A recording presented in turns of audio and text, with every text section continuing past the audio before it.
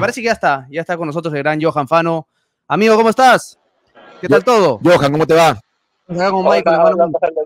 Un gran abrazo para ustedes. Provecho con ese café. El café peruano es mejor que el colombiano, ¿sí o no? Ah, Bien, lógico. ¿Sí? Siempre valorando lo nuestro, eso es lo más importante. Muchachos, gracias por tus palabras. Escuché las palabras que tienen hacia, hacia mi persona y verdaderamente, pues, muy agradecido por, por ese gran elogio que han tenido hacia mí. ¿Cuál es tu expectativa? qué te ríes, Johan? A los comentarios. los, no, los comentarios son, son, olvídate, acá la gente es muy original. Tú sabes cómo son las redes sociales, ¿no? Y Fano ah, hizo su trabajo, ah, claro, el relato de Daniel, ¿no? Y Fano hizo, claro. Fano hizo su, trabajo, Fano hizo lo que tenía que hacer. Claro. Ay, Dios mío, tantas anécdotas.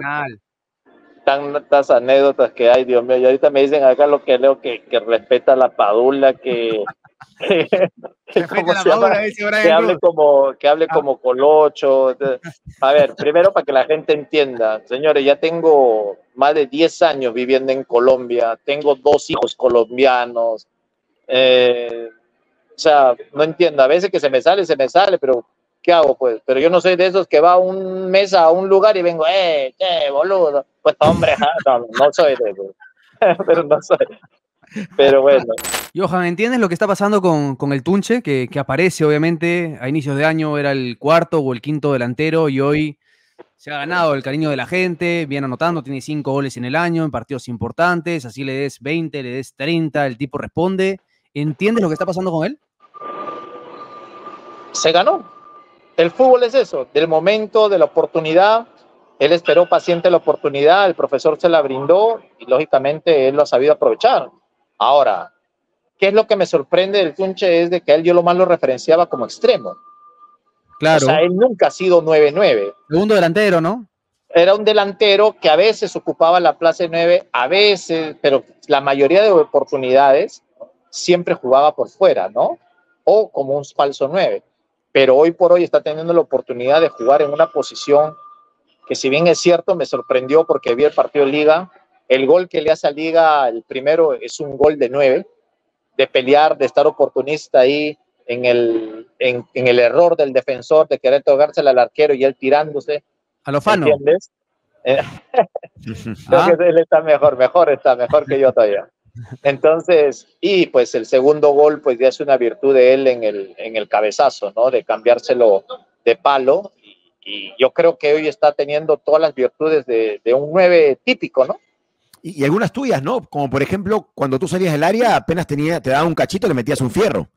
¿no? Y el Tunche tiene, tiene remate fuera del área. Eso es lo que me gustaba porque pues uno tiene que aprovechar, ¿no? Las virtudes. Yo no era un jugador rápido, no era un jugador desequilibrante, pero sí pues tenía un buen remate, gracias a Dios, y trataba de aprovechar las oportunidades que se me brindaban, ¿no? ¿Cómo se le marca? ¿De qué te vas a decir? ¿Qué, ¿Qué comentarios leído? la gente, no, no pongan, no pongan ellos, pues. Uno quiere decir serio, que hablar de fútbol. Y Michel que, diga, eh, hay un muchacho, no sé qué, que diga papacito, que, que, Juan Valdés o se cuine en carretilla. De todas maneras, la cuina en carretilla. A ver, Fano, tu reloj. Están con el tema del Rolex y todo eso, ¿sabes? Los roles también son prestados los míos. A ver, claro. Te veo, me acuerdo lo de la Padula, le digo, la Padula es, digamos, el, principal delantero que hoy tiene la selección peruana. La pregunta que me hago es, ¿quién lo va a acompañar? ¿No? Probablemente sea un mediapunta, probablemente sea un segundo delantero. Fossati ha probado con un mediapunta y ha probado con un segundo delantero como Pablo Guerrero. ¿Quién tú hoy quién que podría ser el mejor acompañante de la Padula?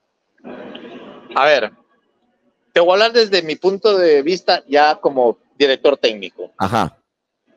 Yo pondría doble nueve dependiendo del rival que voy a enfrentar. ¿Sí? Saben que Paolo y, la Padula tienen parecidas características, parecidas. Eh, la Padula hace mejores diagonales, Paolo sabe aguantar más el balón, sabe picotear, sabe muchas cosas que tal vez viéndolos a uno con el otro pueden tener mucho, mucho parecido. Pero de acuerdo al rival, ahí sí tenemos que ver si lo ponemos a los dos o ponemos uno solo. ¿Me entiendes? Ahora, si me hablas de la Copa América, vamos a enfrentar primero a Chile. Sí. ¿Me entiendes? Yo a Chile le pondría a los dos. Yo. Paolo y la Paola. Yo, ¿por qué? Porque a Paolo lo pongo más estático, mientras que a la Paula lo dejo más suelto, como un falso 9, para que él se desenvuelva. Porque la Uno más funcional, ¿no? Uno más funcional, el otro más posicional, como se dice. ¿Por qué? Porque la defensa de Chile es, no es las defensas de hace años. ¿Me entiendes? Y yo creo que ahí puede radicar el éxito del equipo en qué? En buscarle faltas, en generarle espacios para tener la oportunidad de por las bandas generarle a ellos mayores conflictos. Buenísima la explicación, ¿no? Sí, sí. Buenísima. Me gustó que digas desde el punto de vista del, del técnico. Claro, es que todo depende del rival, ¿no? También de. Ahora, el técnico es el profesor Fossati, él es el que tomará las decisiones. Acá dice Chavo Fossati, hola Fano, dice acá nuestro amigo fanático del reggae. Y ¿ah? hablando de técnicos, eh, ¿volviste a hablar con Gareca? ¿Volviste a hablar con Gareca después de su paso por la U y después tu, salida Me lo encontré cuando vino acá el sudamericano al sub-20, sub-23 creo que era, cuando estaba Ñol dirigiendo, sácate no sé si se acuerda. Sí, claro, que Ñol asume un sub Cuando fue en Armenia. Sub-23 fue, ¿no? Fui, fui, fui, a ver allá, conversé con el profesor, nos vimos todo y, bueno, pues siempre recordando tantas cosas, a pesar de todas las cosas que salieron a hablar, ¿no? De tantas cosas que de verdad eh, no tenían, estaban fuera de contexto, que, que Gareca me votó, que yo peleé, que no, esto, que, o sea, era la oportunidad mía, era la oportunidad mía de emigrar al exterior. Y para cualquier jugador, la primera oportunidad de salir al exterior siempre iba a ser algo bueno. Y sencillamente Gareca dijo que sí, y ya, y que por eso se, se trajo otros delanteros y, bueno, pues ahí se creó un poco de especulaciones. Bueno, lo mismo que pasó con este chico también con la Padula, ¿no? Que creyeron que yo no lo quería, pero yo nunca hablé ni de su nivel futbolístico, sino solamente hablé del contexto que se dio de que él en primera instancia le dijo no a la selección. Y para mí mi selección es sagrada, ¿me entienden? Y, si alguien le dice no, de, mi parte yo no lo volvería a hacer, o sea, ¿me entienden? Y él no es con él, es con cualquiera, con Pepito, con Quitito, con el que sea, ¿me entiendes? Porque para mí la selección es sagrada. Y si a mí me ofrecen la oportunidad de vestir mi casaquilla de la selección que es sagrada, no lo pensaría dos veces, ¿no? O sea, y seguramente por eso este muchacho Oliver se ha ganado el cariño de la gente, ¿no? Porque dijo sí a la primera.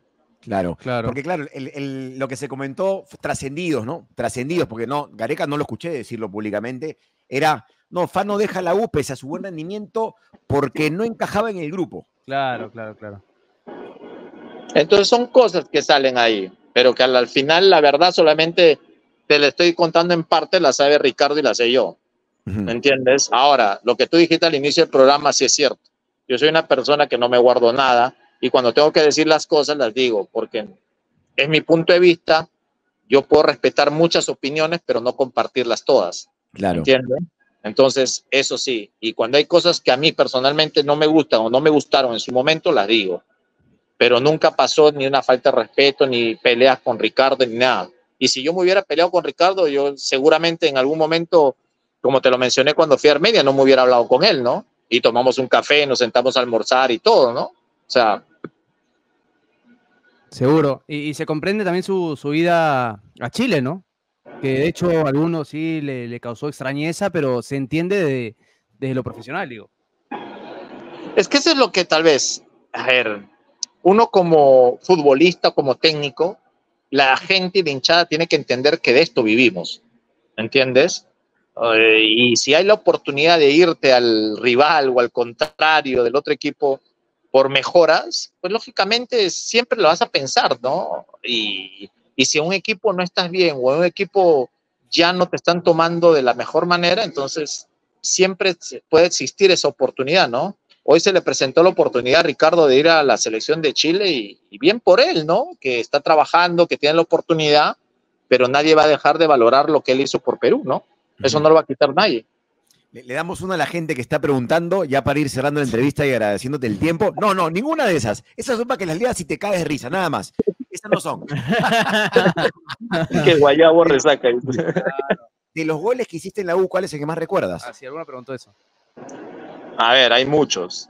Hay muchos que recuerdo. El primero que hice con la U, lógicamente, va a formar algo especial, ¿no? Porque fue mi primer gol con universitario. Pero de los goles bonitos que tengo es uno que hice de Chalaca, entre el Moyobamba, a Comercio, perdón, allí en Moyobamba, que salió pues el gol del año y todo, ¿no? Es un gol hermoso. Tengo otro que le hice al Boys en el Monumental con la izquierda, que, que ¿cómo se llama? Que, que Oscar pues quedó adentro en el arco colgado también. Entonces, no, hay lindo, tantos goles. Todos los goles creo que tienen su, su, su sazón, como decirlo así, ¿no? Todos, todos. Johan, ¿tú con cuántos años saliste al extranjero? 28. 28. Eh, acá se habla mucho sobre la posibilidad, si que sigue teniendo esos partidos. ¿Al Tunche le ves posibilidad de jugar en el extranjero? De repente una liga americana, no sé si México como alguna vez jugaste tú, eh, digamos una, liga realista para, para, lo que es Perú hoy, digo. Porque hoy, hoy no es que salgan muchos futbolistas, ¿sabes? Hoy es más fácil salir, ¿ah? hoy es más fácil salir. Antes era más complicado. Hoy ya con toda la tecnología y con todo lo que está viendo, eh, creo que a los futbolistas como que se les ha puesto un poco más fácil, ¿no? La posibilidad de emigrar. Antes, pues, cuando a mí me tocó estar en México, hacía un gol y se enteraban a las seis horas. ¿Entiendes? Hoy no, haces el gol y a los cinco segundos ya está en todos los medios, en todas las redes sociales. Con 20 repeticiones. Eh, exactamente. Entonces hoy es fácil, pero yo creo que el Tunche tiene todas las cualidades para emigrar. Ojalá se vaya a un fútbol que sea competitivo, donde a él le van a crecer.